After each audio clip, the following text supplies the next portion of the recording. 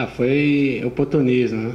É, acho que estava no lugar certo, na hora certa e é isso. Aproveitar o bom momento que eu estou vivendo da equipe, apesar da derrota, a gente sente, está todo mundo triste, chateado pelo resultado final, né? Mas ao mesmo tempo tranquilo porque a gente está tá no caminho certo, jogando fora de casa. Como o Fabrício agora há pouco estava ouvindo, falou muito bem, né? Jogo contra o Grêmio, agora contra o Palmeiras, fizemos dois grandes jogos. Felizmente perdemos, né? A bola tá. É, o resultado não está sendo aquele o que a gente tá, tá buscando, né? Mas é continuar dessa forma porque daqui a pouco a gente vai começar a somar, pontuar fora de casa também. Pessoal, te faço mais uma pergunta que eu fiz para o PC ontem, depois do jogo. O fato dessas duas derrotas para Grêmio e Palmeiras terem tido atuações boas, atuações corajosas para frente, jogando de igual para igual, deixam as derrotas até menos amargas? Ah, sem dúvida. Deixa sim, mas na posição que a gente, que a gente se encontra na, na competição, a gente não fica satisfeito, né? Fica um pouco mais tranquilo porque a equipe está conseguindo jogar bem, né? E contra adversários que está lá em cima na tabela, isso nos dá mais confiança.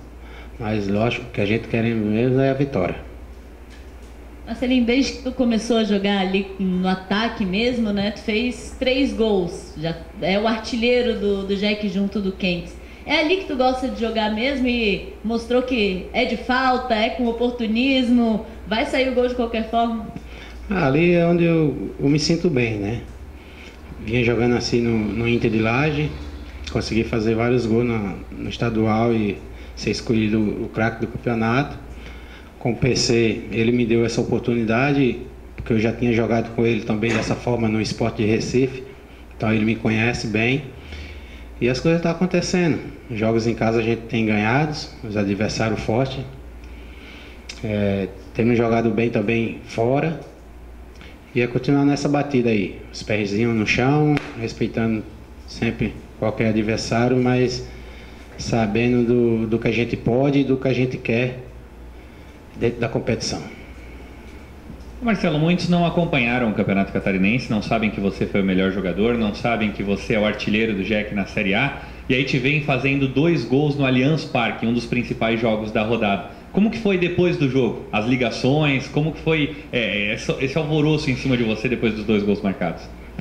Ah, foi, foi muito bom, né? Do jeito que foi badalado por parte do palmeirense lá do Gabriel Jesus, né? Muitos elogios, muita badalação. Da mesma forma aconteceu comigo também, né? Do lado de cá. Mesmo com a derrota, mas recebi vários telefonemas, várias mensagens de apoio, de carinho. Isso é muito bom, né? A gente fica feliz.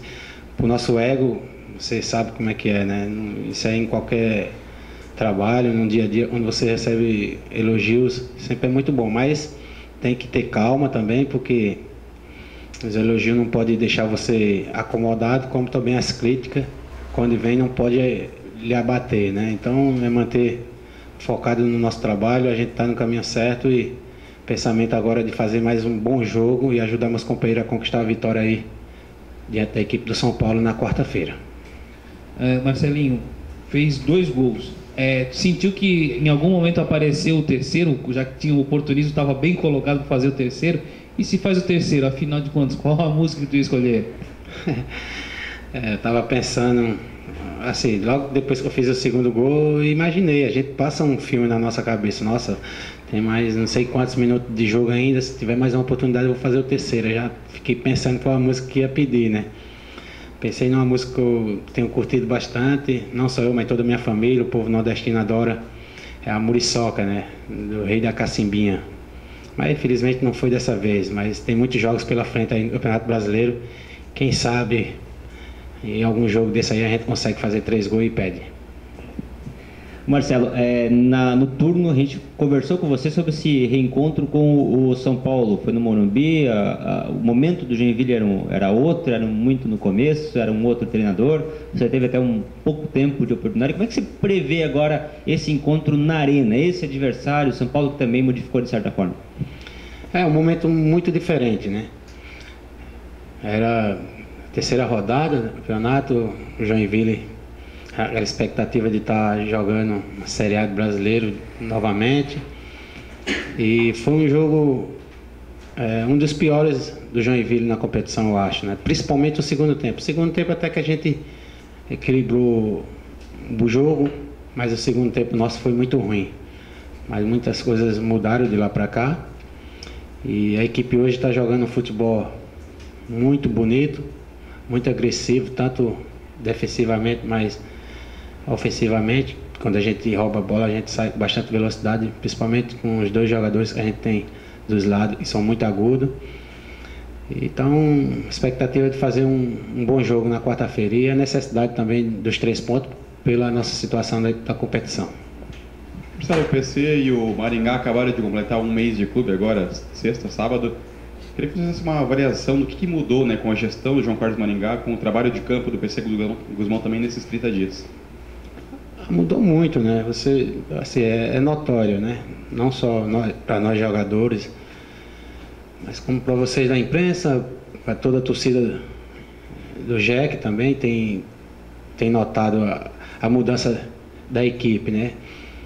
É, o PC é um treinador experiente, né? o trabalho de campo dele é muito bom, ele é um treinador que tem visão tática muito boa, não só dos clubes, ele trabalha, mas principalmente dos adversários. Então, onde a gente vai jogar, por exemplo, como São Paulo agora na quarta-feira, ele estuda bem o adversário, ele passa tudo para nós.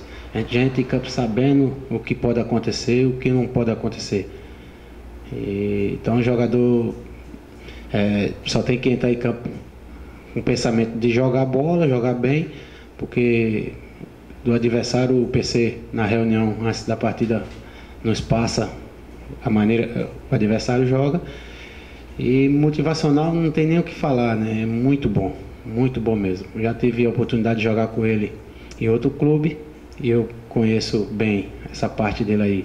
Juntando com o Maringá também, que é uma pessoa bastante otimista, uma pessoa vitoriosa também na sua carreira, tanto como quando era jogador, como, como diretor também, nos clubes onde ele trabalhou. E ele está fazendo um trabalho maravilhoso aqui, né? Tem cobrado na hora que tem que cobrar e tem dado carinho na hora que é preciso também, porque jogador não adianta você também só ficar dando pancada, né? Tem que saber os limites, tem que saber a hora certa de chamar num canto e ter uma conversa mais como pai, né? E tem muitos jogadores jovens no nosso grupo, né? Então a gente tem que saber falar com jeitinho para que tem jogador que às vezes funciona com a uma reclamação mais dura. E tem jogadores e se você reclamar de uma forma mais dura assim, de repente é, ele vai ficar mais inibido e vai só vai estragar. Então tanto o PC como o Maringá sabe bem é, usar isso aí e o time está no caminho certo. Eu acho que temos muita chance de sair da zona de rebaixamento e no final do ano todo mundo se abraçar e comemorar aí 2016 o Joinville novamente na Série A. Marcelinho, eu tava fazendo uma pesquisa rápida, acho que os jogos que tu jogou o jogo inteiro, né, foi ali contra o Palmeiras, contra o Goiás, esse foi o terceiro, né, e justamente numa sequência aí de jogos meio de semana, final de semana, como é que está se sentindo e se precisar, quarta, domingo, tá inteiro aí para jogar o jogo inteiro se for preciso? Eu gosto de jogar assim, né? Quando tem jogo sempre, direto. É melhor do que você ficar treinando. Eu gosto de jogar sempre no meu limite, de superar as dificuldades. É, o ano passado eu já falei, o ano passado eu joguei quase todos os jogos no Fortaleza. Se um exemplo, se teve 50 jogos, eu acho que eu joguei 48, 49. E quase todos os 90 minutos. Quando eu cheguei aqui no começo do ano no Inter de Laje também foram um campeonato curto, mas foram jogos um em cima do outro né? Foram 16 rodadas, se não me engano, ou foi 18 rodadas, eu joguei, fiquei fora do jogo e joguei todos os jogos 90 minutos. Eu gosto de jogar sempre no meu limite. Não gosto de ficar me poupando, gosto de sempre dar o meu máximo. Então eu estou preparado. É, que nem nós jogamos ontem. É, tem já jogo na quarta-feira, mas não tem tempo para trabalhar, treinar no campo, né? É só recuperar, descansar e já chegar 100% no jogo. E eu acredito que se nós fazendo isso aí, eu estou pronto para jogar. Marcelo, a gente sabe que você teve duas passagens belas pelo São Paulo. E se fizer gol, você comemora na quarta? Ah, comemoro sim. Já fiz gol com São Paulo, vários. Jogando, quando eu estava no Grêmio, Copa do Brasil, eu fiz gols lá no São Paulo e comemorei. Tenho um carinho imenso, mas estou é, defendendo um, outras cores, é, um, outro, um clube que tem uma torcida apaixonada, né? então tenho que ter o respeito pelo clube que eu estou defendendo, o clube que me paga. Então vou dar o meu máximo, vou, se tiver e dar o sangue dentro de campo, eu vou dar para a gente obter essa vitória, porque precisamos, é um momento crucial para a nossa equipe aí dentro da competição.